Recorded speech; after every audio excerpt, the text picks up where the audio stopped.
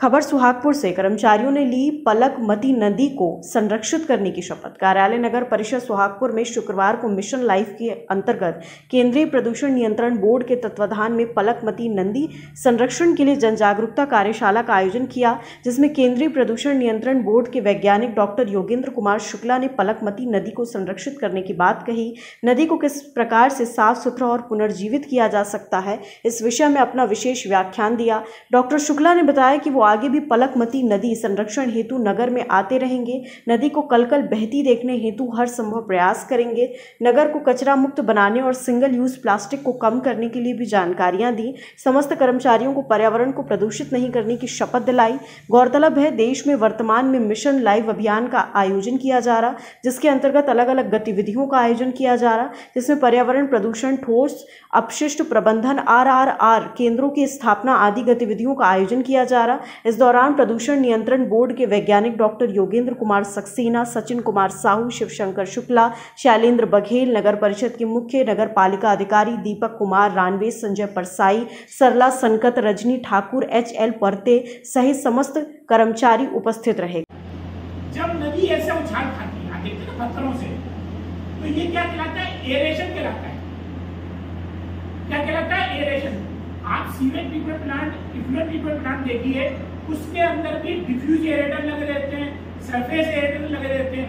वहाँ पे मतलब नेचुरल अननेचुरल तरीके से एरेशन किया जाता है। नदी के अंदर नेचुरल तरीके से एरेशन होता है जब ये पानी उछाल खाता है। और जब उछाल खाएगा और उसके बाद क्या होगा, जो डिजोल्व बीओडी है, वो सस्पेंडेड बीओडी में कन्वर्ट हो जाती है। शायद कुछ लोगों को समझ में नहीं आया होगा, मैं बताता हूँ। जो स्लज होता है नदी के अंदर जो सिलज होता है एरेशन के बाद में उसको माइक्रोब्स क्या करते हैं? उनको ऑक्सीजन मिल गई। और वो उस जो पॉल्यूशन होता है, उसको खा लेते हैं। तो वो सिलज में कन्वर्ट हो जाते हैं। जो हम एरेशन कर रहे हैं डिजॉल्व सस्पेंडेड में कन्वर्ट हो है। मतलब जो डिजॉल्व रूप में जो पॉल्यूशन है, वो के रूप में कन्वर्ट हो जाता है। उसके बाद आप देखते हैं, नदी एकदम सपाट रूप से ऐसे बहती है। तो वो सिलज क्या है? नीचे सेटल हो जाता है। आप समझे आप अननेचुरल तरीके से हम क्लेरिफायर बनाते हैं। सीवर ट्रीटमेंट प्लांट में इफ्लुएंट ट्रीटमेंट प्लांट में कॉमन इफ्लुएंट ट्रीटमेंट प्लांट हम क्लेरिफायर बनाते हैं। लेकिन ईश्वर ने नेचुरल तरीके से पूरा sewage treatment plant effluent treatment plant इस नदी के अंदर दिया हुआ है।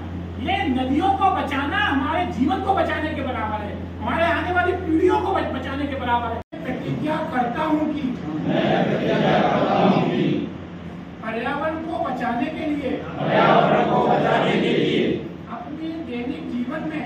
अपने दैनिक जीवन में। हर संभव बदलाव लाऊँगा। हर संभव बदलाव लाऊँगा मैं यह भी वचन देता हूँ कि मैं ये भी वचन देता हूँ कि अपने परिवार मित्रों अपने परिवार मित्रों और अन्य लोगों को और अन्य लोगों को पर्यावरण के अनुकूल पर्यावरण के अनुकूल आदतों और व्यवहारों के आदतों और व्यवहारों के महत्व के विषय में महत्व के विषय में सतत रूप से सतत रूप से प्रेरित करूँ। खबर भारतवर्ष के लिए सुहागपुर से रूपेश कुमार की रिपोर्ट। अपने शहर, अपने प्रदेश की ताज़ा खबरों के लिए लाइक करें शेयर करें सब्सक्राइब करें। और हाँ बेल आइकन दबाना ना भूलें, क्योंकि खबर हमारी फैसला जनतंत्र का।